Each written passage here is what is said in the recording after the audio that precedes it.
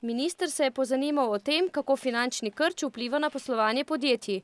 Na podlagi pridobljenih informacij bo vlada skušala najti sistemske rešitve, s katerimi bi jim pomagala, je poudaril ob obisku Adri Mobil. Vsa podjetja v Sloveniji imajo probleme, bi rekel, s premajhnim lastniškim kapitalom, to se pravi, da so prezadolžena in danes je zelo težko dobiti nova finančna sredstva za obratna sredstva ali pa da podjetjem podaljšajo določene kredite na daljši rok.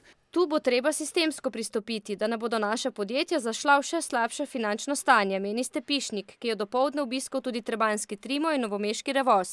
Ja, Revoz ima določene težave, ki se sooča z vsa avtomobilska industrija v Evropi, ker je velik upad potrošnje oziroma nakupov avtomobilov, potem stiskajo se tudi cene, to se pravi, so vedno nižje.